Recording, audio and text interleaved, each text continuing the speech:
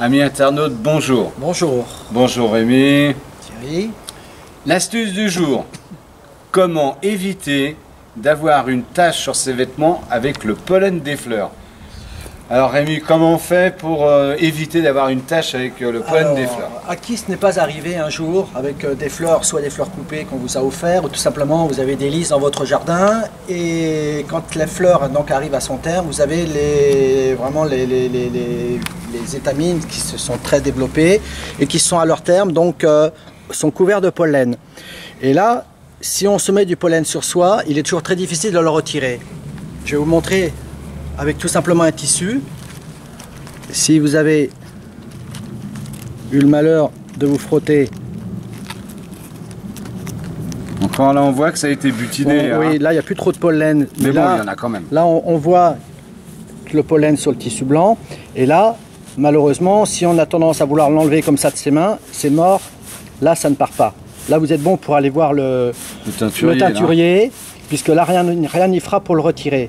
Là, c'est dommage parce qu'il n'y a plus beaucoup de pollen. Mais ici, là, on va le faire. Euh, on va Alors, pour vous montrer ma petite astuce, je vais tout simplement prendre le risque d'en mettre sur moi-même.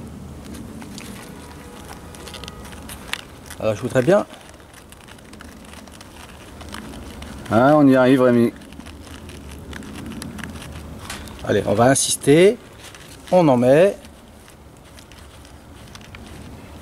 Alors que quand elles sont chargées de pollen, ça vient tout ça. Là, c'est dommage parce que habituellement, on a tendance à avoir bien plus que ça de pollen. Bah, disons que nos amis les abeilles. Les hein, abeilles sont passées par là, ne nous ont pas laissé grand chose. Voilà, je pense, j'espère qu'à la caméra on voit bien. Si, si, on voit. Donc l'astuce. Donc l'astuce. On n'y touche pas. Je n'y touche pas, je ne frotte pas. Je vais tout simplement utiliser du scotch. Ça peut être le scotch euh, transparent, tout simplement. Et ça peut être aussi le scotch euh, euh, marron comme celui-ci. Je vais utiliser le transparent, tout simplement l'appliquer. Voilà, j'en ai déjà enlevé une partie. Attends, je vais... continue de m'ordonner. Surtout ne pas frotter, mais simplement appliquer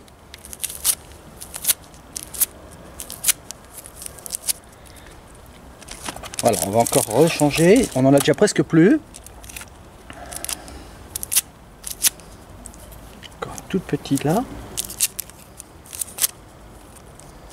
C'est excellent. Alors, donne-moi encore un petit morceau.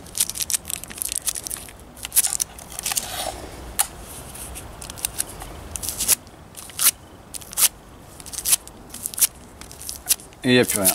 Et là, Et là, il n'y a plus rien. Voilà. Excellent, Rémi. C'est la petite truc euh, toute simple, toute facile, qui évite donc euh, des frais euh, chez le teinturier. Et, et surtout d'arriver propre là où on doit, où on est invité quand même. Voilà, voilà. À retenir.